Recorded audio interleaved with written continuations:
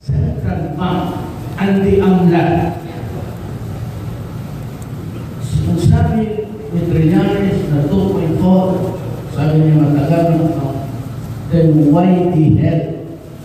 Wala akong nalaman o pinaalam ako ng AMLA kaya investigar na. That is hidden work. Not only daw, sabi niya, track money, pati daw uh, smuggling. Ano? That is a very explosive thing. Dapat ang AMLA must start now. Then, Central Bank, may 1.2 o 2.4 dyan. Walang nagtatanong. So, explain to me bakit. Because there is a 2.4 billion that is negligence kung wala silang aksyon.